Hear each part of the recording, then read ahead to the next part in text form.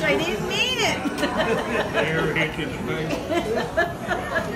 no, it just was a. Uh, It was a stress crash. Stress crash.